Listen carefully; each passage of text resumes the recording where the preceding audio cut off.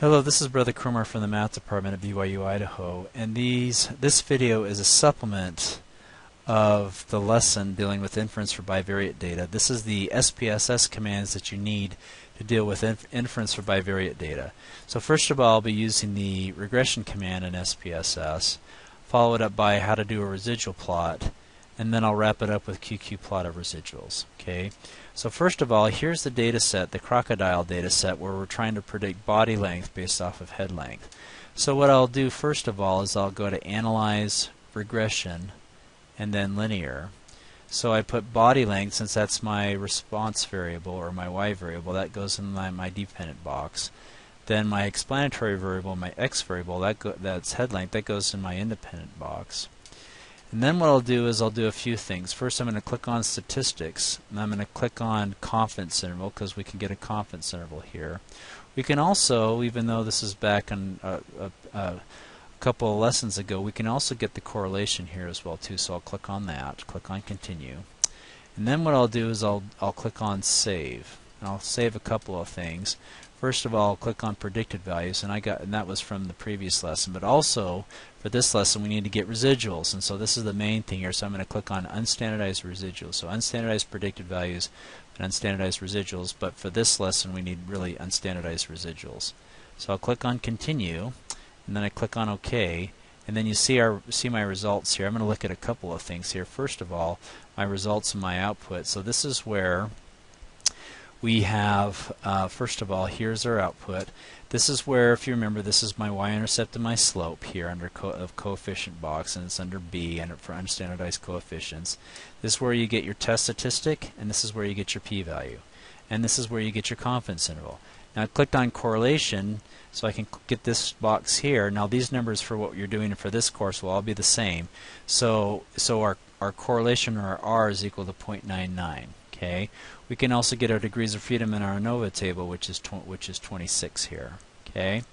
So now what I'm going to do is I'm going to show you something else based off what we did with regression, and that is getting these two columns. This is our my unstandardized predicted values, and this is my unstandardized residuals. We're now going to be using this to do two more items here. Okay.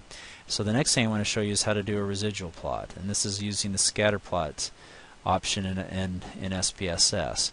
So now what I'm going to do is I'm going to go to Graphs, Legacy Dialog, and Scatter Dot. I'll just click on Define.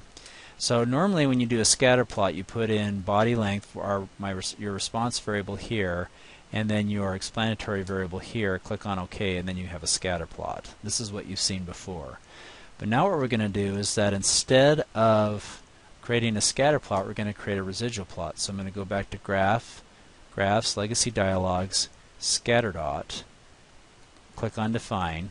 Now I'm going to pull out my response variable and I'm going to pull in, and this says unstandardized RE, but it's for residuals. I will take this, put this up here, and replace the response variable to get a resi this will give you your, a residual plot. So I'll click on OK, and then here's my residual plot. Now what you see here is there is no pattern here, so it looks like the requirement is met for, well, a couple of things. Plus also it doesn't look like there's a megaphone shape as well, too. So it, we can say that the requirement for a linear relationship is met as well as equal variances as well too. So lastly what I want to cover is how to do a QQ plot of residuals. Okay.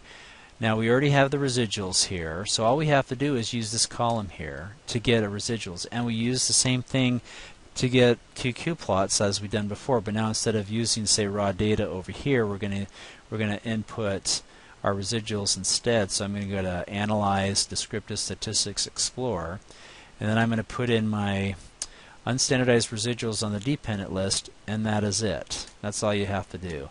You're going to get a whole slew of information, but what we're interested in is our is the residual plot. And so I'm going to go look for it here. Oh, I forgot to do something here. Um, I forgot to do Analyze, Descriptive Statistics, Explore, and I forgot to click on Plots. That's the main thing here. Click on Plots, and then click on Normality Plots with Test. That'll get you your QQ plot. I was wondering why I wasn't getting a QQ plot, but I needed to do this first in order for that to work, and so I'll click on OK, and then you will see that here's your QQ plot. And you check again to see if the if the points are at or close to the line. And it looks like here that, except for maybe this one, it, it looks like most of the line, most of the points are at or close to the line. So we can assume the residuals are normal, so therefore the, the error term is also normal.